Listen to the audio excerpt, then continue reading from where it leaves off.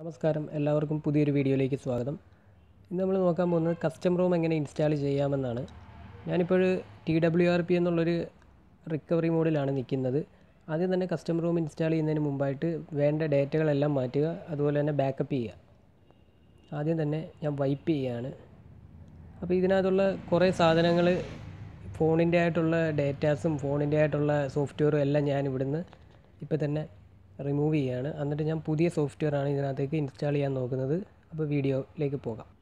അതിനുശേഷം നമ്മൾ ഈ അഡ്വാൻസ്ഡ് വൈപ്പ് എന്നുള്ളിടത്ത് ഒന്ന് ക്ലിക്ക് ചെയ്തിട്ട് ആദ്യം കിടക്കുന്ന Dalvik cache system data cache ഇത്രയും നമ്മൾ ഫോർമാറ്റ് ചെയ്യുക.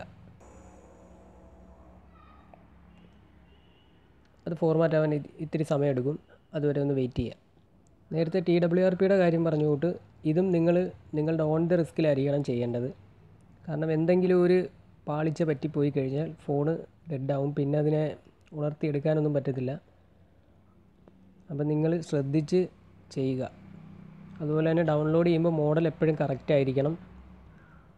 പിന്നെ ശ്രദ്ധിച്ച് ചെയ്യുക. അല്ലെങ്കിൽ ഫോണ് ഡെഡായി പോകും അപ്പോഴത് കംപ്ലീറ്റ് ആയിട്ടുണ്ട്. അതിനുശേഷം ബാക്ക് പോവുക.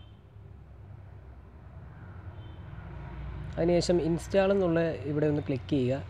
അതിനുശേഷം ഞാൻ ദാണ്ട് ഇപ്പോൾ ഡൗൺലോഡ് ചെയ്ത് വെച്ചിരിക്കുന്ന ലൈനേ ജോയ്സ് പതിമൂന്ന് പോയിന്റ് പൂജ്യം എന്നുള്ളൊരു റോമാണ് ഞാനതൊന്ന് ഇൻസ്റ്റാൾ ചെയ്യുകയാണ്. അപ്പോൾ ഇത് സക്സസ്ഫുൾ ആയിട്ടുണ്ട്. ഞാനപ്പോൾ സെറ്റ് ഒന്ന് റീസ്റ്റാർട്ട് ചെയ്യുകയാണ്. അപ്പോൾ ഈ വീഡിയോ ഇഷ്ടമായെങ്കിൽ ലൈക്ക് ചെയ്യുക. എന്റെ ചാനൽ ഒന്ന് സബ്സ്ക്രൈബ് ചെയ്യുക. തൊട്ടടുത്ത് നടന്ന ബെല്ലൈക്കിൾ ചെയ്ത് നോട്ടിഫിക്കേഷൻ ലഭ്യമാക്കാൻ ശ്രമിക്കുക. അപ്പോൾ താങ്ക്